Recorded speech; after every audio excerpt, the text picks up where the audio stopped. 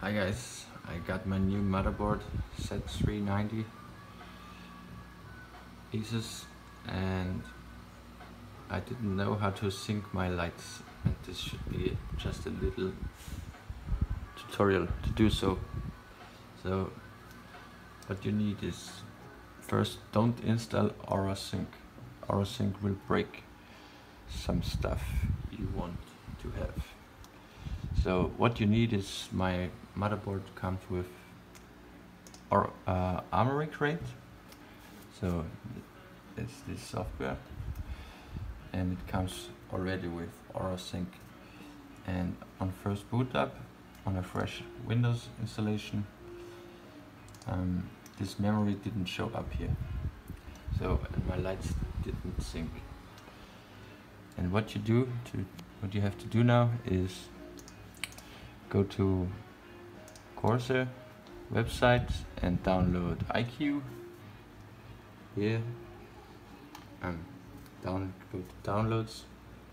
Corsair downloads.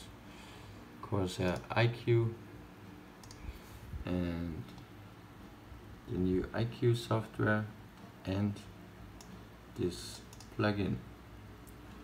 Install those two. Restart your computer and start iCUE sorry start iCUE here. So now you see this. Click on your memory module go to settings and click enable full software control.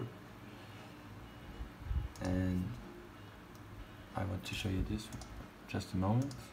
Go to lighting effects and you see this lighting is, is and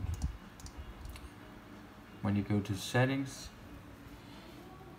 enable full software control get those indicators and you can change now each LED separately.